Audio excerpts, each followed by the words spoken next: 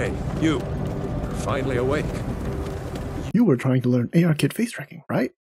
Open Blender, kill the cube, import Mr. Baldy. in green triangle menu, shape keys. Copy the name brow inner up and check what it looks like. Don't worry, it'll make sense soon. Now select your model, green triangle menu, add a shape key. Ignore all this stuff. I think she used to dance. If basis pops up, add another shape key. The basis is the original model, so remember, do not select it. Always keep in mind which shape key you've selected. If you select the wrong key, you're in for a bad time. Rename the new shape key, brow inner up. Time to make the expression. Edit the mesh and follow Mr. Baldy. Use proportional editing and toggle connected only here and there for optimal facelift results. Great! Now we gotta do this for all 52 shape keys. Oh yeah, it's a pain. But no one gets into ventriloquism for the adrenaline.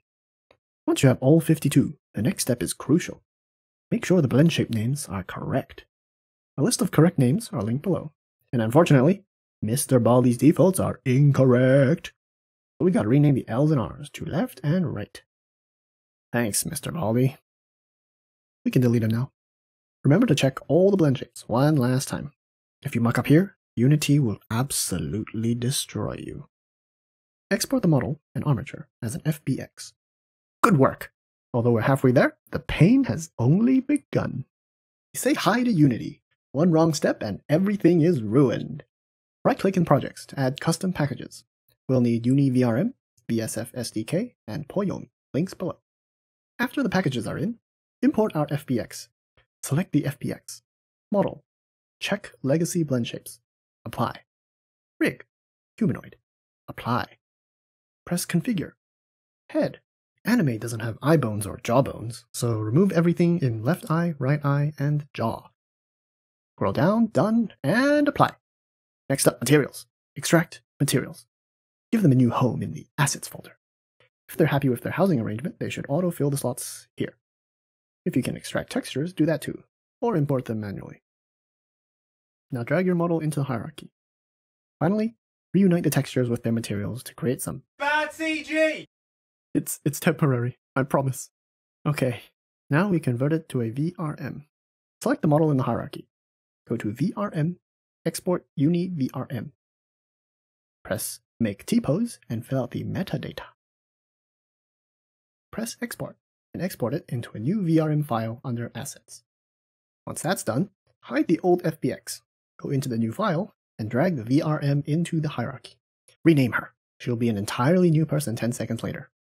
In your new VRM folder, go to Materials.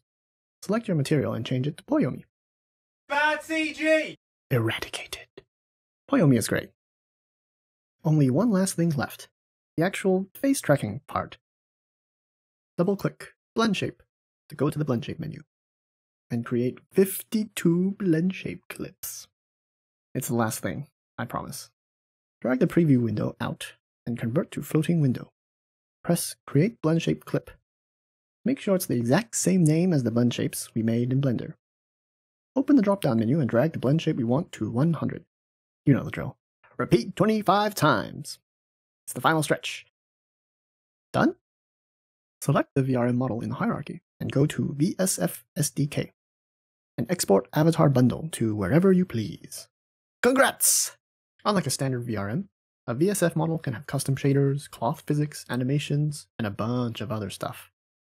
But that's for future tutorials. Face tracking. We're nearly there. Focus! Buy an iPhone X or above. The old ones get hot, but the new ones are expensive. Secondhand is good. We just want the fancy camera. Make sure your iPhone is on the same network as your PC. On your phone, get the app iFacialMocap. Hey look, it's Mr. Baldy! Take note of the IP address at the top. We'll need it later. On your PC, download and open VSeeFace. Fill in the camera settings with whatever. We got the fancy cam. Add avatar. Select our VSF and start. Go to Settings, General Settings. Scroll down and check iPhone ARKit Tracking Receiver. Type in the IP from your phone. If you're lucky, the phone will flash green and ta-da! You're anime now. You may now begin your ventriloquist, I mean VTuber dreams. As for the poor sods who only saw green but got no tracking, whew. Go to Windows Settings, Update and Security, Windows Security, Firewall and network protection. Advanced settings. Inbound rules. New rule. Program. Next. Browse for VSeeFace.exe. Next. Allow the connection. Next. Next. Uh, VSeeFace. VSeeFace. Finish. Go back to VSeeFace. It should work now, hopefully. Worth it though. The tracking is way better than standard Visemes. You can even tweak the blend shapes to get even better results. And now you know how to make ARKit tracking. Oh, Mr. Baldy would appreciate new ARKit users. He loves new faces. He's harmless. Mostly. Run.